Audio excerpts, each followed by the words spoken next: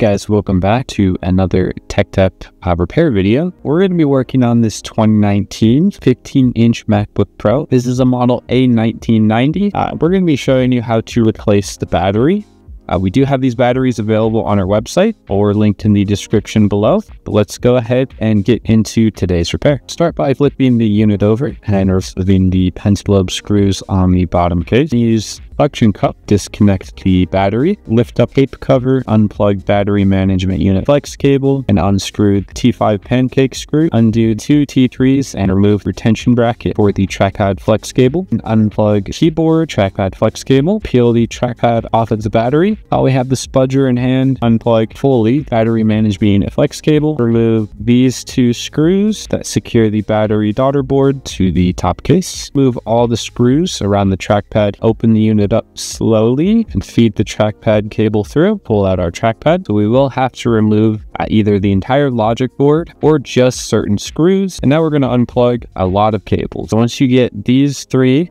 the keyboard and the speaker unplugged, and prying the board up, we have enough play to get our battery out. Takes isopropyl alcohol out of a dropper. This is going to weaken the adhesive and make it easier to pry our battery out and we're going to let the isopropyl alcohol sit for a second, uh, spudger here, and pry up the battery. We're going to go ahead and pry off our battery. So after prying the battery free, lift up the logic board and pull our battery out. So I'm going to use more isopropyl alcohol and a razor to scrape off the remaining adhesive strip, put in our new battery. And the very first thing I'm going to do is secure uh, the battery daughter board with our pentalobe screws here. Connect all of our connections that we unplugged and screw the logic board back into place.